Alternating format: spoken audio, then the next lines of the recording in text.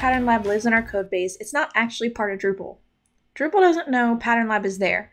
All it knows is you are connecting these files to create components.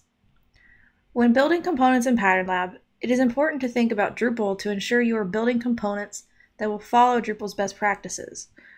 One of the most important things to keep in mind when creating a component is how can we support Drupal attributes? Drupal attributes is an object to store HTML attributes such as IDs, classes, and data attributes, which Drupal can leverage when rendering content. In most cases, you may not need to interact with these attributes, but it is important to still make them available in case Drupal needs them. In addition to attributes, Drupal uses a few variables like title prefix and title suffix that are used by contrib and core modules to inject markup into Twig templates.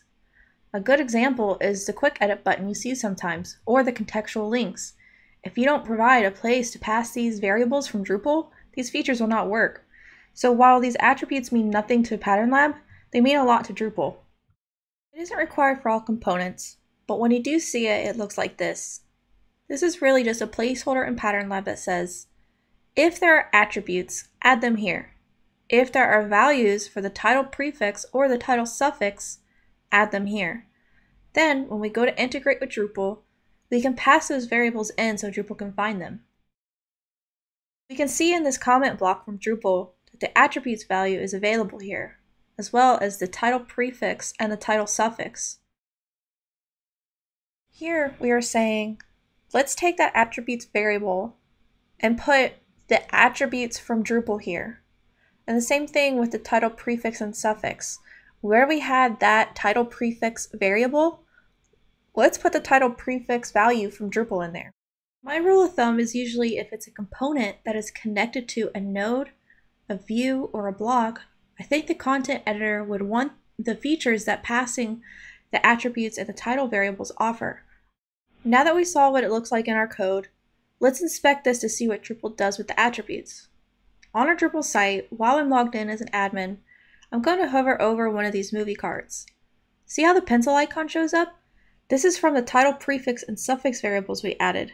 If I click it, I can quick edit, go to the node edit page, or delete it. Let's look at this in the DevTools to see how Drupal knows to add these features here.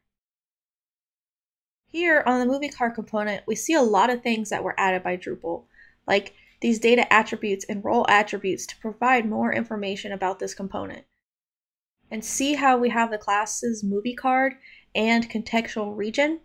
When I created the component, I added the movie card class and added a variable for Drupal to add attributes, and this is where Drupal passes those attributes to. And in combination with the title prefix and the title suffix, the contextual links core module adds the ability to interact with this content inline. I want to show you what happens if we don't have the attributes or title prefix passed. I'm going to remove it from the component and the template, and then look at it again in Drupal.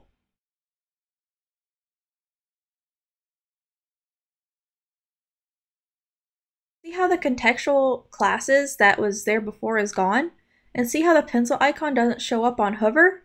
I admit that this looks a little cleaner in the code, but it breaks a lot of great features that Drupal offers.